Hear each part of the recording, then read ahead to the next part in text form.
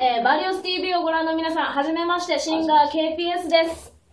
と、と、えー、モーゼのミノです。はじめまして。よろしくお願いします。えー今回ですね、えっと、バリオス TV という番組を YouTube で配信することが決定いたしました。えーそんな感じでですね、今私たちは熊本を拠点に音楽活動をさせてもらってるんですけども、はいえっと、この番組を通して、えっと、もっと熊本の音楽シーンを盛り上げたい という気持ちで、えっとですね、この番組を配信することが決まりました。えー、っとですね、まあ、まずちょっと軽く自己紹介をさせていただきます。えー今私は、えっと、熊本のクラブを中心にイベントでシンガーをさせてもらってます KPS と、えー、モーゼという二人組でやってます。ミノです。はい、ちょっと初めてだからね。そう、ちょっと、ガチガチ。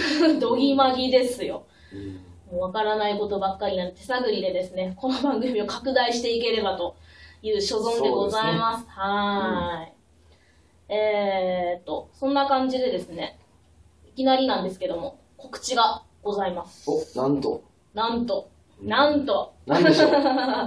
今週の、えっと、4月12日金曜日に、えっと、エリア26というお店で、タピューラナイトというクラブイベントがございまして、はいえー私、KPS とモーゼ、はい。出演させていただくことになりました。ありがとうございます。ありがとうございます。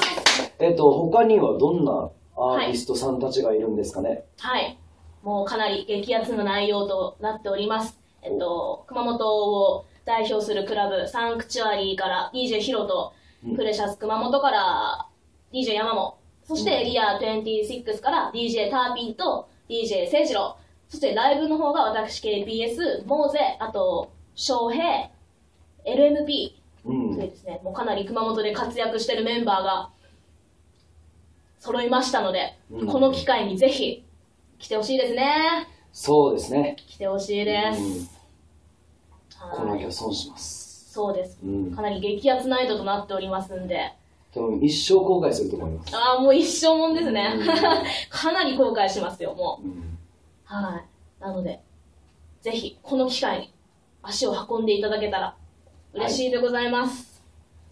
えーこのバリオス TV はですね、えっと、1週間に1回、2週間に1回ぐらい、うん更新できたらいいなってなって、いう、いい、いいなってなってておかしいですね。